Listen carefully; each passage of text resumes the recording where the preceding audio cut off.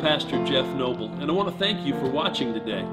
At Four Winds Church, we're kind of a simple church. We believe the Bible is God's Word, and we think that we should pay attention to it. And I hope that you will pay attention to it as you watch this video, because it's all about Jesus.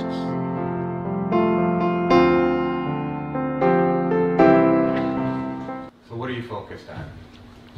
We're in the middle of a nation that's now on a verge of war with Russia. We got our schools forcing our next generation of leaders to wear masks in fear. We got our communities that are being divided along racial lines via critical race theory propaganda. Our hospitals are promoting protocols for COVID that prioritize the almighty dollar over the care of their patients. Our elected leaders in Washington are more aptly referred to as our selected leaders in the wake of fraudulent 2020 election. And so, what, what are you focused on? That's the key. What are you focused on?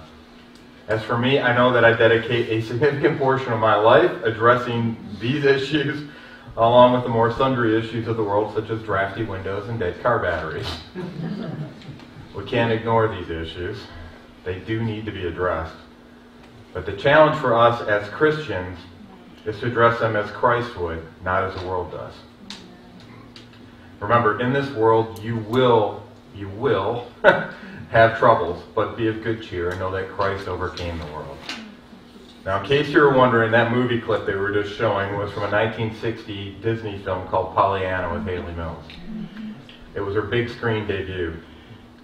Angie and I came across it when we started looking for films that didn't use God's name in vain. Yes. And I, you know, we have all of our streaming music uh, services, and I can tell you, um, almost all of them are only partially watched because as soon as they start using God's name in vain, we're done with it. We've canceled so many of our TV series, everything else. It's obviously a concerted effort to to use God's name in vain. And uh, I'll tell you, it's um, it's a challenge to come across a good movie that does not have uh, somebody using God's name in vain. So, how many of you guys have seen the movie Pollyanna? All right, if you haven't, I highly recommend it. Um, it's uh, it's very uplifting, and uh, and it'll tug at your heart pretty much the whole way through. Um, for those of you who haven't, it really is. Um, it is a. It, uh, Hayley Mills is just so natural with the way she acts and so genuine. It's just it just brings you into um, into the theme of the movie, and uh, you know the the theme. You got a little bit of a taste for it in that short clip, but Pollyanna didn't own anything in the world. Um, from a worldly perspective, she had nothing. Uh, but from the perspective of God's kingdom, she was wealthy beyond compare. And when you see the way it rolls out in the movie, you get a full appreciation for that. How this one person with a godly perspective can change your environment all around you. She grew up the daughter of a missions based minister who was so poor she couldn't afford to give his daughter a doll as a toy. And you heard a little bit of that story when he asked the villagers to whom he was ministering for a doll that he could give to her. They misunderstood him and gave him a pair of crutches. that served as a segue to that little game that she called out called the Glad Game. Now, the objective of the Glad Game was to find something to be glad about in the midst of less than ideal circumstances. So, for example, when she was given a crutch instead of a doll, you heard that she found herself glad that she didn't need the crutches, right? The glad game is simply a metaphor for the passage in God's Word that helped me survive eight years in the Michigan Senate. That's Philippians 4.8. Focus on what is noble, true, excellent, and praiseworthy. I have plastered all over my office, and um, it was uh, in all my home as well. And uh, you see, in this world, you will indeed have trouble, but God calls on us to be of good cheer. And it's all a matter of what you focus upon. Now, he's told us that all things work together for good, that for those who love the Lord. All those bad circumstances we were talking about before, you know, he didn't say some things work together for good. he said all things work together for good for those who love the Lord. So don't ignore the trials of this world, but shift your perspective. Shift your perspective from that of the world to that of Christ. Seek out all that is good. And now, let's play that glad game today, shall we? That's right. Time for some audience participation on a Sunday morning. Um, I'm going to call out one of the world's troubles, and then you raise your hand and let me know how we can view that situation with gladness as Christians. Sound like a good challenge? All right, let's start. You guys ready? All right. So whoever's not ready, guess who gets the first question? No, I'm just kidding. no. All right. So, what is one reason to be glad for the following? Audience participation during a sermon. Keeps you alert. Keeps everybody paying attention. There you go. Right. Okay. Excellent. Anybody else? So many other people to be called upon. Absolutely. Yep. Yep. All right. Now, what is one reason to be glad for the following? Being colorblind. Colorblind in which way? Your fit, your eyes or your mind? As far as like racial stuff, colorblind, or physically colorblind? This is my question. Uh, it's a just uh, whichever way you want to interpret it. Impartial. Impartial. Okay. My brother-in-law's colorblind, and his wife picks out all his clothes. Yeah. FaceTime in the morning to get ready. Yeah, it's all set up. So, I'm colorblind too. All right, what's one reason to be glad for the following? Fake news. People are waking up. Yeah. Yes, yeah. Uh, yeah. Uh, I'm thankful for that because it makes me dig further for what I think is Yeah. the truth. Yeah. All right, time to ratchet up the difficulty just a little bit. All right, what's one reason to be glad for COVID 19? I think it's God's opportunity to wake up the church. Yeah. Yeah. Anybody else? I, I think it's brought families closer together, nuclear thing. Yeah. We found other remedies on our own. Yeah. Yeah. Yeah. You're less dependent. Yeah. Not extended. All right. Here's one that I have to challenge, might challenge myself with quite a bit. What is one reason to be glad for evidence of election fraud in the 2020 general election? Truth is exposed. Yeah. Now we know who all the phonies are. Yes. Yeah. It really is rationalizing quite a bit. Remember, all things, all things work together for good for those who love the Lord. So just because we don't like something doesn't mean that God isn't trying to work in us and in our society to some greater good, to some greater part of His overall plan. And so just because we prefer different circumstances doesn't mean that the current circumstances are not part of a grander plan for God to redeem a broken world. So after all, when God sent us His only Son, He didn't send Jesus here so that He could experience a lifetime of Disney cruising, did He? Not at all. His plan to redeem a broken world required sacrifice. The innocent Lamb of Christ died a painful death on the cross so that we could have eternal life. God's ways are not our ways. He's God. We're not. We are not God. Sometimes we like to play God, right? And say, God, why are you doing this? Don't do this. This is what we should be doing. No, we're not God. He's God. So have you ever caught yourself trying to second guess God? Yeah. Well, Job did, and he received an epic smackdown from God. Remember that? Our challenge is to trust God in good times and in bad. Remember, even in bad times, God is present. And what's more, He wants you to have joy in all circumstances. Remember, the joy of the Lord is our strength. Joy is not found in the circumstances of life. It's not found at all in the circumstances of life. Joy is found in having a relationship with the one who gave us life. So the prophet Habakkuk, you know, how many times do you think you were going to come in here and hear from Habakkuk here? But the prophet, uh, prophet Habakkuk followed in the footsteps of Job and shared a whole chapter of complaints, if you remember. Just a complete chapter of complaints about the world with God.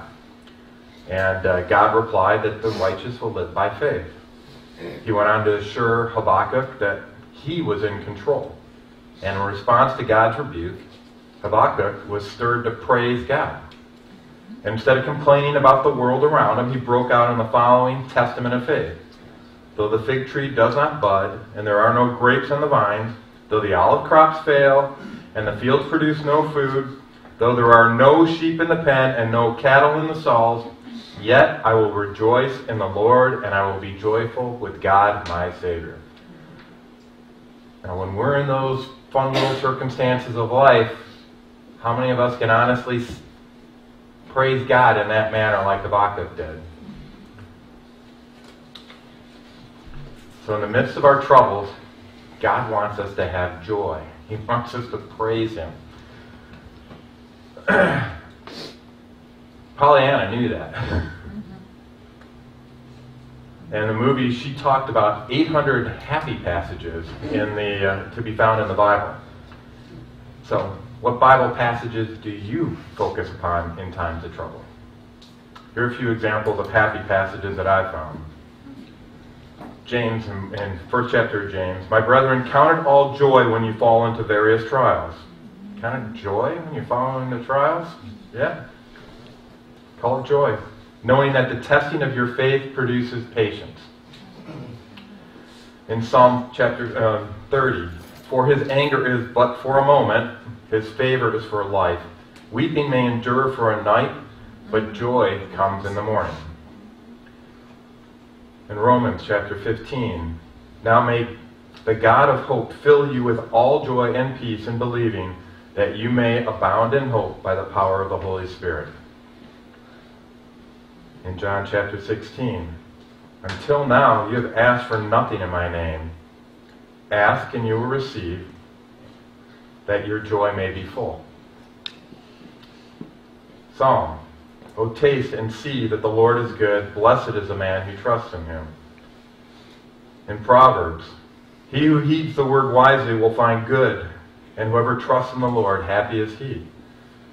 In Psalms. Happy are the people whose God is the Lord. Happy. So, in all these circumstances of life, we've got to keep that focus of being happy. Therefore, in, in Romans, therefore, having been justified by faith, we have peace with God through our Lord Jesus Christ, through whom also we have access by faith into his grace in which we stand and rejoice in the hope of the glory of God. And then another passage that got me through eight years in the Michigan Senate is that it's from Philippians chapter four. Um, now that I speak in regard, now that I speak in regard to need, uh, not sorry, not that I speak in regard to need, for I have learned in whatever state I am, whatever state I am, to be content. I know how to be abased. I know how to how to abound. Everywhere and in all things I have learned both to be full and to be hungry, both to abound and to suffer need. I can do all things through Christ who strengthens me. You know, Paul was writing this in some of the circumstances of life that he had plenty of opportunities to complain about what was going on, but he didn't. How would he write all these books of the Bible that he wrote with such joy if he was focusing on the worldly circumstances around him. He wouldn't be able to do that. He focused on the ultimate victory. And in 1 Timothy, we hear, Now godliness with contentment is great gain, for we brought nothing into this world, and it is certain that we can carry nothing out. And having food and clothing, with these we shall be content. And in James, is anyone among you suffering? Let him pray. Is anyone cheerful? Let him sing psalms. And last, um, those who sow in tears shall reap in joy.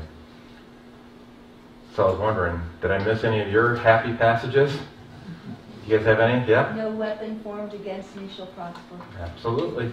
Any others? Good work that he has done, he will complete. Absolutely. Now, I bring that out because one of the things that I found very valuable in my life is that every single morning I'm in God's Word. And that's how you find the happy passages, right? you got to read it in with all the other passages in there Um, it all fits together, as part of a God's uh, overall plan. And my devotion this morning was on God's Word and how it's a double-edged sword. Sometimes we don't want to to uh, see all the aspects of it because it reveals the condition of our heart sometimes, and maybe it's not so good, and we need some correction. Maybe we need to stop looking at it from the worldly perspective and start looking at circumstances from God's perspective. But you learn those happy passages, you learn what God's perspective is on life by immersing yourself in God's Word daily. And uh, I recommend kicking off every single day in God's Word. And uh, I'll tell you, I'm more likely not to take a shower than I am to not read God's Word literally for the last 20 years, day in, day out. And whether or not I grasp it in the appropriate context at that particular time, I'm confident God's going to use it as He sees fit, uh, as He's fit. So eventually, I don't have to be perfect on all this. I don't have to have all this knowledge. All I have to do is seek the one who does have that knowledge and will implant that within me. So it comes from that dedication to making sure that I want to know what he wants me to do before I, I figure out what the world wants me to do. That makes sense? Yes. So I, I think it's pretty easy to say we, we all live in a broken world right now, right? When God made it, it was good, right? So it's man's sin that broke the world. So you may look around the world and see evil on the march everywhere we look. Um, you may see bad things happening to good people. You may see good things happening to bad people. the world is broken. All right, as an engineer, I get it. Right? Now remember, though, God had a plan to fix it. He sent His one and only Son, Jesus Christ, to live in this broken world. He experienced the same circumstances that we are experiencing. He experienced an oppressive government. He experienced corrupt leaders. He experienced illness. He experienced betrayal. He experienced the death of loved ones. He experienced his own painful death on the cross. And through it all, he never ceased to express his love for God and for each of us. In the end, he now reigns in glorious victory over all the world's troubles. Remember, in this world you will have troubles, right? Gonna have it, right? You guys know we're gonna have troubles, right? but be of good cheer, for he has overcome the world. Now, Francesca Battistelli put it like this in her song, God is Good. Joy comes, tears fall. I'm learning there's beauty in it all. It's not hard to find. You just have to look. God is good. And the one thing I want to make sure everybody understands today is that that is so true. God is faithful, He is trustworthy, and God is good. Hi, I'm Pastor Jeff Noble.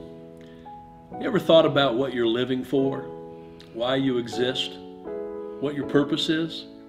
You know, a lot of folks ask that question, and we know where to find the answer. It's right in the Word of God, the book we call the Bible. If you'd like to find out more about what God has to say about things, then I'd invite you to come to Four Winds Church. We're meeting at 31840 West 7 Mile Road in Livonia. Our service times are 8.30 a.m. That's more of a traditional service. And then our 11 o'clock service is going to be more contemporary, a blending of traditional and contemporary music. If you'd like to see what God has to say about things, we invite you to come to Four Winds. If you'd like some more information, go to fourwindslove.org and you'll find out everything you need to know. I hope I'll see you Sunday. God bless.